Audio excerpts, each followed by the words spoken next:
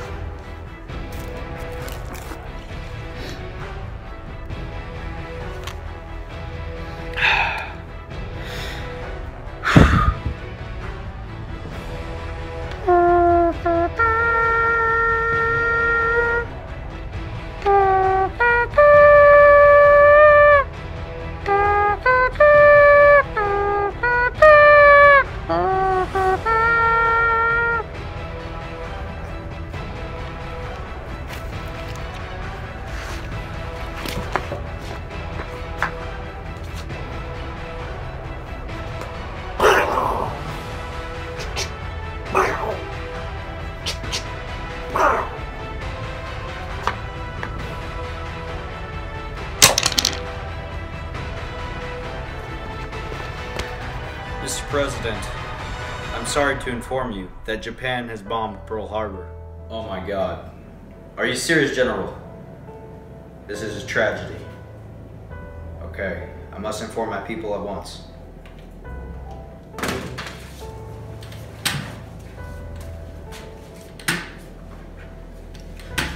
Start the radios. We need to call America immediately. Ladies and gentlemen of America, this is your President Franklin D. Roosevelt. I've just been informed by my general that Japan bombed Pearl Harbor.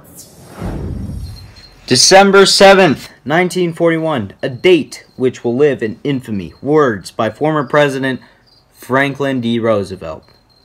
Now, ladies and gentlemen, on this day, Japan took America by surprise by bombing Pearl Harbor. Now, in this bombing, Japan took out over 2,300 military soldiers, destroyed 12 ships, took out 160 aircraft, damaged 150 other aircraft, and damaged 9 other ships. Truly, this is the reason why America joined World War II. Two. Now, aside from this putting us into World War II, it changes the image of women's roles. Women were needed to fill in many male role jobs during the war, and various advertisements were used to encourage women to fill up these positions. Now, for jobs in America, women were able to work in factories for military usages. Factories that used to make cars, heavy machinery, and other of that sort were made a complete 180 in specifically making tanks, airplanes, battleships, machine guns, and things of that nature. And women were an essential part of this labor force because not only were they competent in making these things, but they were very fast and very efficient. See, we used to take um, men 11 months to make one battleship. It took women a matter of days, and battleships were out the door. Planes um, were made very fast. Um, so if one went down, another one went up real quick you know, zero to a hundred. Just kidding. Um, the changes in America during this time period weren't just men going into war. That hasn't changed. But what has changed is what happens inside of America. You see, we start building up a trend with women's rights starting here because now women can work. Now they can show that they can, they're competent.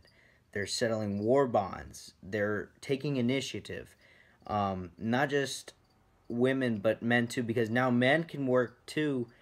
Um, and this pulls America out the Great Depression. Ladies and gentlemen, thank you. That was my U.S. History Project. I'm Nicholas Chan. I hope you enjoyed. Thank you.